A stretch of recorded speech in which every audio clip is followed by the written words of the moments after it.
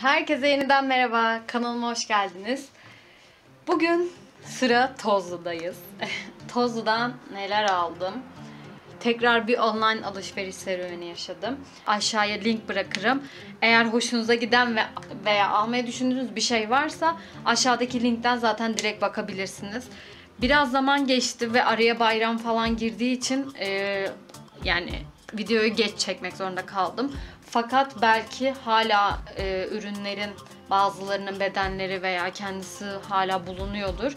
Ama bitmiş de olabilir. Çünkü bazıları çok uygun, bazıları orta fiyatlıydı. O yüzden şu an ürünleri incelemedim hala var mı yok mu, kampanya devam ediyor mu ama e, eminim benzeri ürünler vardır muhakkak. Çünkü çok fazla çeşit var ve e, yani bunları almasanız bile en azından başka ürünleri beğeneceğinizi düşünüyorum. Tabii ki paketi açtım, parçaladım. Mesela kumaşı tam istediğim gibi gelmeyebilir. Ufak tefek dikiş hataları falan olabilir. Ee, yani bu tür şeylerden şüphe ettiğim için o yüzden e, biraz incelemek zorunda kaldım. Fakat genel olarak bence ürünler güzel. Fiyatına göre bence gayet güzel ürünler var. Daha önce de bot almıştım hatta. Ee, ilkbahar gibi falandı. Botun fiyatı da çok çok uygundu ve gerçekten bot efsaneydi yani. Bota hiçbir e, hiçbir şey söyleyemem çünkü gerçekten çok güzeldi. Beklentimi çok fazla karşıladı. Hatta e, yani derisi falan gerçekten harika. Şimdi neler aldım? Çok fazla bir şey almak istemedim ama maalesef aldım. Bu nasıl bir çelişki? Bunu hiçbirimiz çözebilmiş değiliz açıkçası. Şimdi şuradan şöyle başlayalım. Ee, bu etekti. Yani şu şekilde. Hatta açabilirim ama işte tam net yansıtamayacağım düşündüğüm için aslında. Şöyle dökümlü bir etek. Ee, hafif yırtmaçlı böyle şu şekilde. Yani böyle siyah beyaz çiçekli bir etek. Ha bu arada fiyatlarını da size söyleyeyim. Belki fiyatları değişmiştir veya ürün kaldırılmıştır bilmiyorum. Şöyle bir faturayla geliyor ürünler. Ee, bu eteğin fiyatı ne kadarmış? Desenli envelop etek diye geçiyor. Fiyatı 35 TL'ymiş. Eteği aldım. Ha bir etek daha almıştım. Bu da puantiye. Aslında bayram için almıştım fakat e, bayrama yetişmedi. Bayram bayağı geçti ki zaten bayramda da çok da dışarı çıkmadığımız için hani bir şey değişmedi aslında. Şu anda da asla çıkmıyoruz. Yine bir şey değişmedi. Fakat e, insana bir alma isteği geliyor. E, pandemi süreci bizi mahvetti. Sürekli internet sitelerinden alışveriş yapıyoruz. E, berbat bir durumdayız. Bilmiyorum ne olacak böyle. Etek şu şekilde. Yine tam olarak gösteremeyeceğim. Netliyor mu bakayım. Kontrol ediyorum. Evet netliyormuş. Tamamdır. Ee, yani etek bu şekilde. Bel kısmı çok hoşuma gitmişti açıkçası. İçine böyle beyaz bir tişörtle e, çok şık duruyor. Etek de bu şekilde. Bu arada kumaşların dediğim gibi kumaşlarından çok şüpheliydim. Çünkü neden? Bunun mesela kumaşı ya bunlar biraz daha böyle hani yakan kumaşlar vardır ya sıcakta böyle biraz daha terleten kumaşlar. Yani yine de böyle ince tiril tiril bir şey olduğu için çok fazla da rahatsız etmedi açıkçası. Denedim bunları ben. Bu zaten şifon tarzı bir şey. Çok fazla yakmıyor. Sıcak bölgede olduğum için kumaş benim için çok çok önemli. Anlayışla karşılamanızı bekliyorum. En çok kumaşa dikkat ediyorum. Bedenden, renkten falan daha çok kumaşa dikkat ediyorum. Özellikle kumaşına bakıyorum.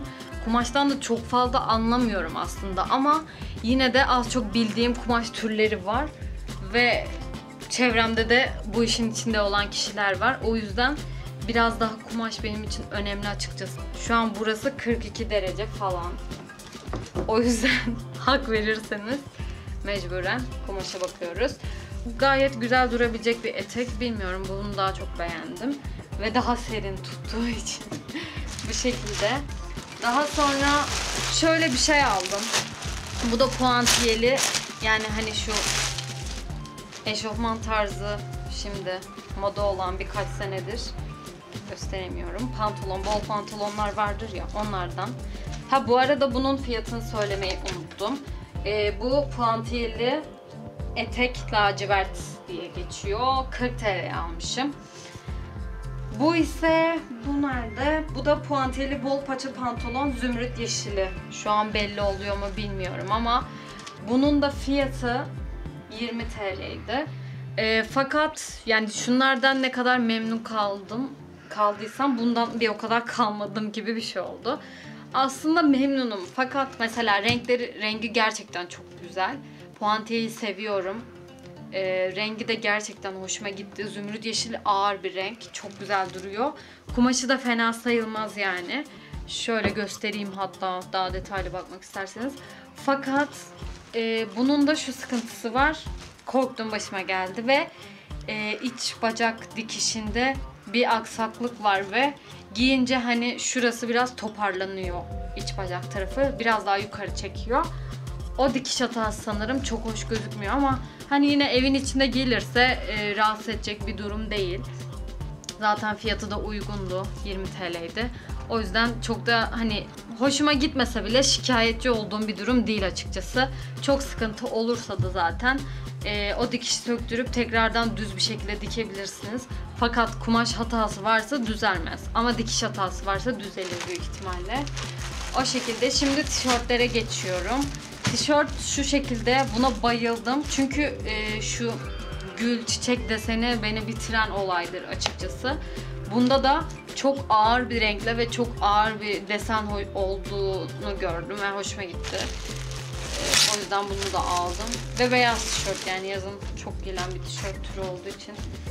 O da bu şekilde. Bu arada bu çok geniş geldi. Normalde şunu da belirteyim. Bilginiz olsun bir şey hissettiğiniz zaman tozlu.com'da. Ee, bedenler tam hesap ettiğiniz gibi olmuyor. Ben daha önce kışlık ürünler almıştım. Kışlık ürünlerde bedenler bir tık daha dar geldi. Hani mesela ben geniş geniş giyinmeyi seviyorum. Mesela medium alıyorsam e, small gibi ya da small ile medium arası ya da large alıyorsam işte small ile large arası tam large değil. Bu da aslında bunu da large aldım. Çünkü tişörtleri geniş seviyorum. Fakat e, bu large ile x large arası hatta x large bile diyebiliriz. Gördüğünüz gibi baya baya geniş geldi. Yani geniş olması çok rahatsız etmiyor açıkçası. Sonuçta sıcak dediğim gibi sevmiyorum e, dar kıyafetleri. Ama bu da fazlasıyla geniş geldi. Yine de çok rahatsız etmez hani pantolonla falan bir şekilde ayarlanır diye düşünüyorum.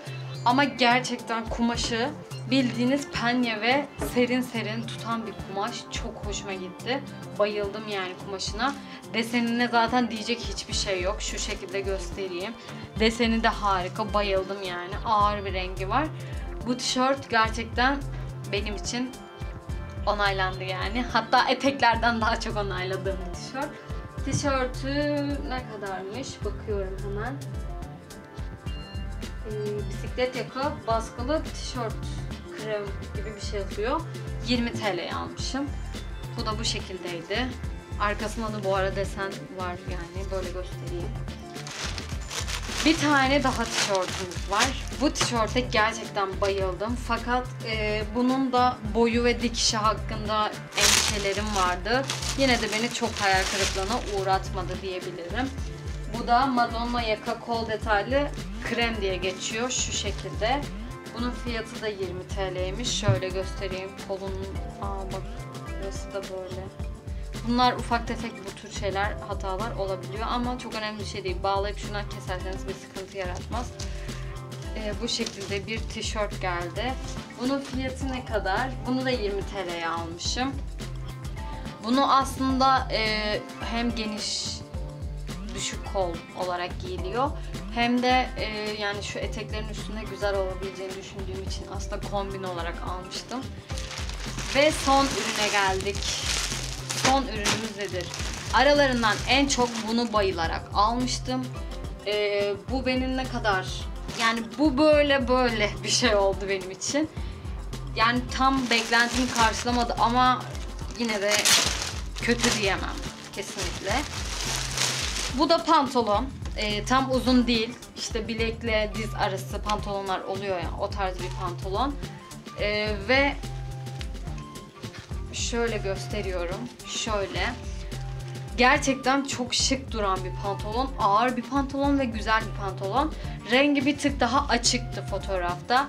Burada tam böyle lila rengi gibi bir şey. Orada biraz daha eflatundu sanırım. Çok hatırlamıyorum.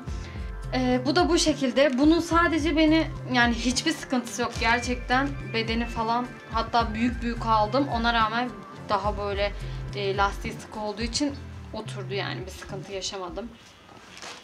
Tek sıkıntım kumaşı.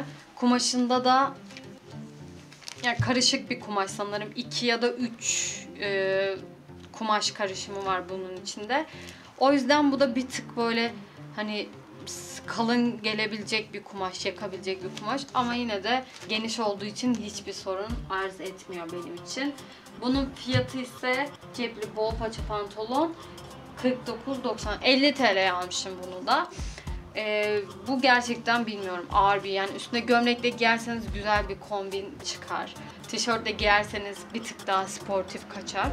Ee, gayet güzel bir pantolon ve yazın giyilebilecek bir pantolon. Bu da bu şekildeydi. Ben aşağıya linklerini kesinlikle bırakacağım. Ee, umarım hala vardır. Eğer arasından beğendiğiniz ürünler varsa tavsiye ediyorum. Ürünler bu şekilde. 6 tane ürün aldım. Ee, toplamda 185 TL ödemişim. Benim gibi tedbir olsun diye hep büyük bedenler alabilirsiniz. Çünkü dar gelmesine hiçbir çözüm yok. Fakat geniş olan ürünlere yani ne bileyim tişört geniş gelir içinize koyarsınız pantolonun içine ya da ne bileyim dikişini bir iki daraltırsınız etek gelir onu katlatırsınız bir şeyler yaparsınız falan filan. Ama dar gelen ürüne gerçekten hiçbir çözüm yok. Kumaş attırıyorsunuz fakat kumaşı da öyle her şeyi attıramıyorsunuz. Sadece pantolonlara attırılabiliyor. Tişörtlere çok da şık olmuyor açıkçası. Ee, bu şekilde ürünler böyleydi. Orta fiyatlı olanlar da var. Hatta çok uygun olanlar da var. Tişörtler mesela 10 15'e 10'a bile tişört vardı. Ben sırf bunu penye düşüncesiyle aldım. Ee, koton diye geçiyor bu arada penye dediğimiz. Gerçekten şu an 20 liranın hakkını veriyor. Yani şunu 30'a 35'e de alabilirsiniz. Hani o değerde bir tişört oldu benim için. Ee, onun dışında yani etekler de gayet karşılıyor her şeyi. Sıcak olsa bile hani geniş ürünler beni rahatsız etmiyor açıkçası. Eğer kumaş takıntınız yoksa gönül rahatlığıyla alabilirsiniz.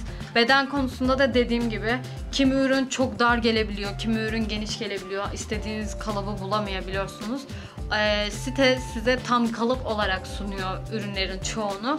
Fakat yine de biraz temkinli alırsanız sizin için daha iyi olacaktır. Söyleyeceklerim bu kadardı.